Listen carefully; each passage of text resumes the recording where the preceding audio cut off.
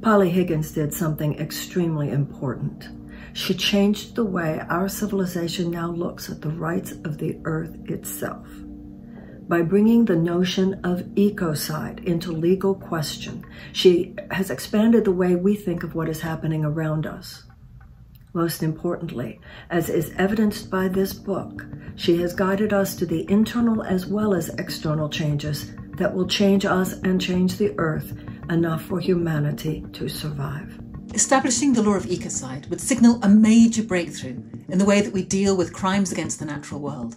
This book is a highly unconventional combination of global crusade with personal exploration and discovery.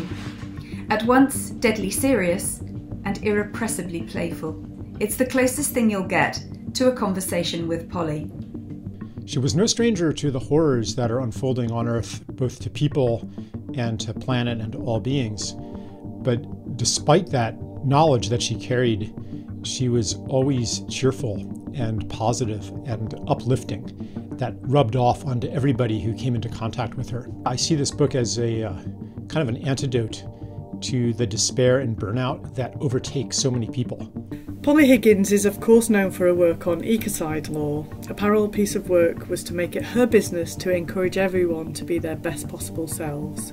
This she did for me, and it made the world of difference to be so encouraged by a fellow mischief maker.